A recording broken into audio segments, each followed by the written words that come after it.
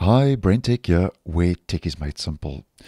So, a couple of weeks ago, as I posted, Microsoft announced a rebranding of Bing Chat to Copilot, and it mentioned that the new Copilot will become generally available on the 1st of December this year, 2023. Now, today we are already on the 3rd, and just to let you know now that that has indeed happened, where Microsoft now has announced that Copilot is now generally available and no longer in preview. So it's out of preview and is now getting pushed out to everyone who accesses uh, the new Copilot for free at Copilot, as we can see in my address bar, copilot.microsoft.com. And I'll leave that link down below if you'd like to just click on that and get direct access.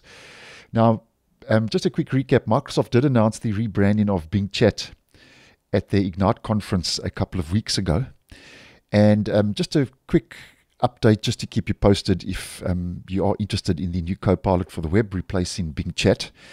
And it seems, though, that since this is now out of preview, we've had a step forward and a step backwards. Because, first of all, the step forward is when I did post a couple of weeks ago, um, when Copilot for the web was still in preview, it had no recent activity and no chat history. Now, as you can see, that has now since been added, which I think is a nice move in the right direction.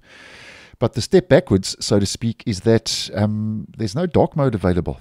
I don't seem to be able to find a toggle to be able to change it into dark mode like you can with Bing Chat.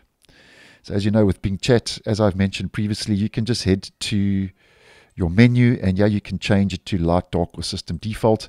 Now, as mentioned, I am noticing with the new Copilot that that is not the case. So, um, hopefully, that is something that Microsoft um, does change in due course. But nonetheless, just letting you know, as mentioned, that um, the Copilot is now generally available and no longer in preview uh, if you would be interested. So, thanks for watching, and I'll see you in the next one.